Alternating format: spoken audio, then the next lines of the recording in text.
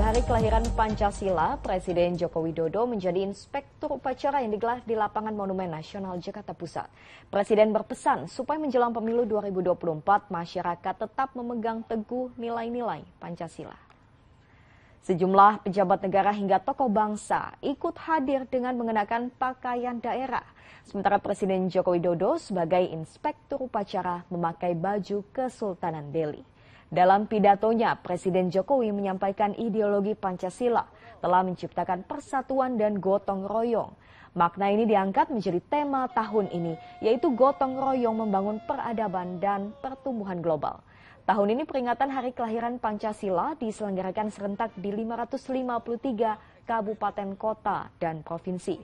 Presiden Jokowi juga meminta masyarakat tetap memegang teguh nilai-nilai Pancasila jelang pemilu 2024.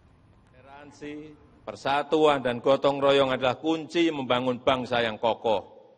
Oleh sebab itu, saya mengajak kita semuanya untuk menolak ekstremisme, menolak politisasi identitas, menolak politisasi agama. Mari kita menyambut pesta demokrasi pemilu 2024 dengan kedewasaan, dengan sukacita, dengan memegang teguh nilai-nilai Pancasila, memperjuangkan Indonesia maju yang adil, yang sejahtera, serta berwibawa di kancah dunia.